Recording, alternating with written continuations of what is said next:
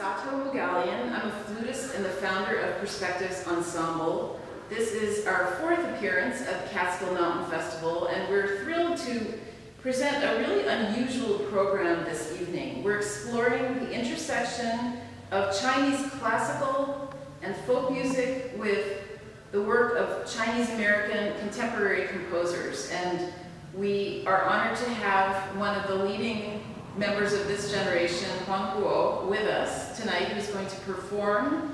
And also, we're playing a number of his pieces. He'll be hosting this evening.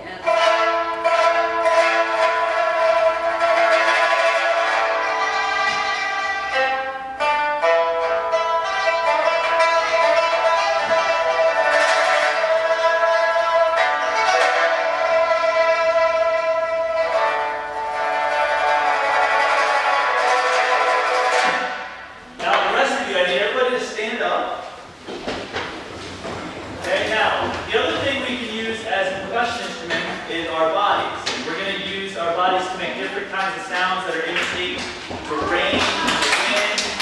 But wait, you have to wait for me. I'm going to tell you how to do it. It's really that wind. You have to start the rain a little bit harder. Then harder. I'm really trying to pour. If you start playing